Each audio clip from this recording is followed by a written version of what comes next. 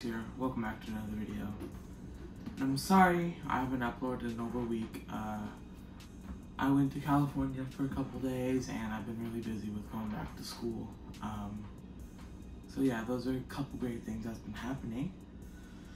But today's main topic is Joe Biden telling us that we are ne- Neanderthal, Neanderthals, because we want to be free.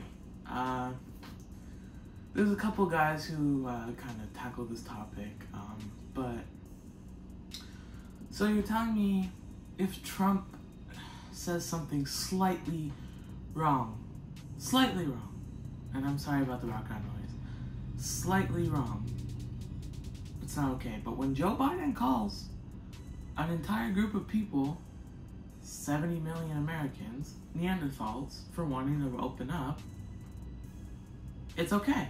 Uh, Jen Psaki or whatever, Jen Sack, that's her nickname now, um, said that they were calling us, they said that it was, we were thinking like Neanderthals, not being Neanderthals. Now tell me, what what's the difference between those two things? Between thinking and acting like a Neanderthal? Okay? You can't Imagine if Trump said anything remotely like that about BLM or about the Democratic Party. Destroyed. Absolutely just canceled and destroyed. And it wouldn't be okay whatsoever. Uh, and I just I just think it's gross. Um, you want to open up? You want to not put something on your face? You want to walk around? You want to go to movie theaters? Neanderthal. You're you have a small, inconsistent brain that doesn't matter. So yeah, if you voted for Joe Biden, you're not a Neanderthal, and if you voted for Trump, you are a Neanderthal. So I wanted to tackle that subject, and I wanted um, to say that's just absolutely disgusting. Uh, and I'm sorry for not uploading a couple days. I've just been busy. Um, but yeah, you're a Neanderthal. Um, and Texas just removed their mask mandate which and Mississippi, I believe, which is absolutely amazing, and I think it's incredible. Um, so yeah, Texas, the entire state of Texas and the entire state of Mississippi are Neanderthals. Now, I would try and add more facts to this video, but this is more of an opinion-based based video, uh, and uh, I just, I don't know. What do you think? And another topic I want to tackle is Joe Biden's border problems.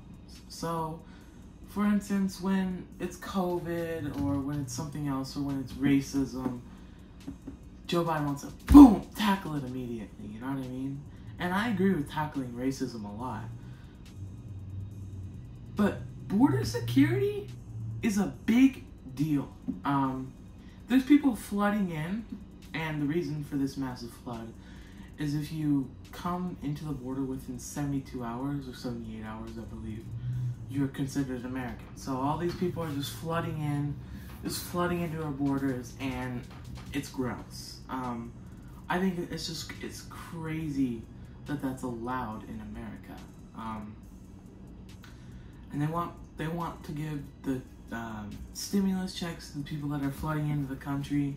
They want to give them to homeless people they want to give them to people in prison, which, tell me, as a Democrat or Republican, does that make sense to you? No, that's what I thought. But, like, like I said, uh, I'm sorry for not uploading. I really appreciate the support. Um, so that was pretty much all I wanted to tackle today.